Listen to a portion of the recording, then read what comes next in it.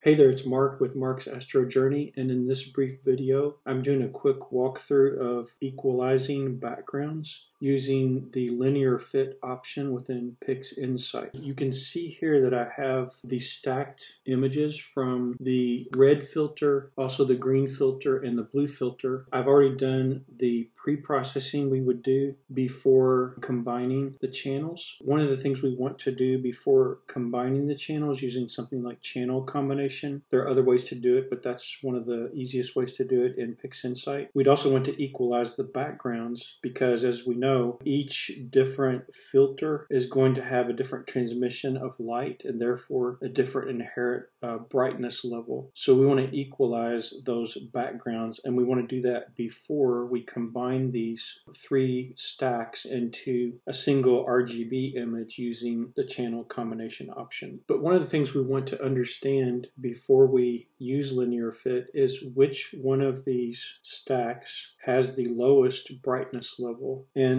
the reason this is important is because although many people recommend using the brightest image when you're doing a linear fit as the reference image, what's going to happen if we do that is it's going to scale the dim images to match the brightest image, right? But that's also going to have the side effect of scaling the noise in the dimmer images, resulting in, in you know more noise or, or a noisier final image, which we don't really want to do that. So what we really want to do is use the image that's not the brightest, or in other words, the dimmest image is our reference image. And so you can see that when you open up the linear fit process here in PixInsight, you can see that it does have this option to choose which should be your reference image. And so we would choose one of the three, right? And the way we want to make that choice properly is we want to use another option here within PixInsight, image inspection and statistics. And what this lets us do, it lets us choose each of our images that are open and we can see statistics on the image, right? And this median value is what we want to focus in on for this purpose and we want to see which one has the lowest value. So going back again from the beginning, here's blue, there's the median value,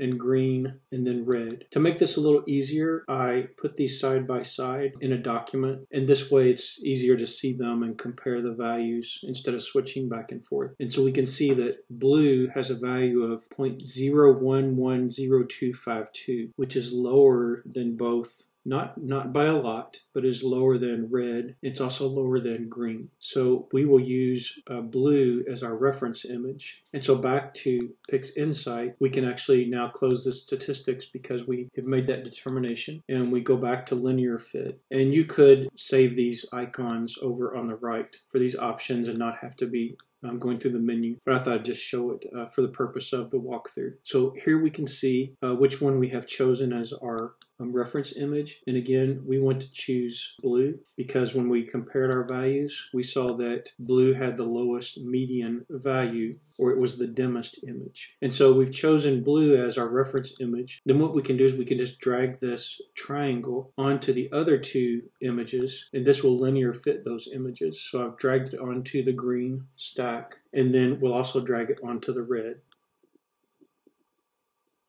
And then as a result, what we should see is that if we compare the image statistics again, we should see that they're fairly close now. So let's take a look. Now we have red, which has a median value of 0110220, green 0110255, and blue 0110252. So we can see now that it made the adjustment with the linear fit process and they're very close. They're not identical, but they're very close, close enough for us to do our channel combination. So that's how we would use our linear fit tool to go ahead and equalize the backgrounds in our three stacks and get them ready to combine using something like channel combination within PixInsight. So I thought it would also show you the outcome of the post processing. I think I captured something like four to five hours of LRGB data on the California Nebula. And here you can see the final processed image after doing all the post processing. Uh, at the time I did this imaging session, I didn't have any narrowband filters. And I plan to do this target again with narrowband filters. And I hope to see, um, you know, if I can get a little bit more detail out of such an imaging session. But I think for four or five hours of LRGB data, this uh, image turned out pretty decent of the California Nebula. Please post any comments you have with suggestions for the proper use of linear fit or lessons you've learned after working with that tool within PixInsight. And if you have any also comments about the California Nebula and suggestions for imaging it properly or ways you found techniques you found in the post processing that really brought out the data, please share those for the benefit of anyone else viewing the video. If you enjoy videos on amateur astrophotography, I encourage you to subscribe to my channel. And I do videos from time to time about imaging sessions, but also about uh, different tools that I'm using in the post processing or during the imaging sessions. So some of these videos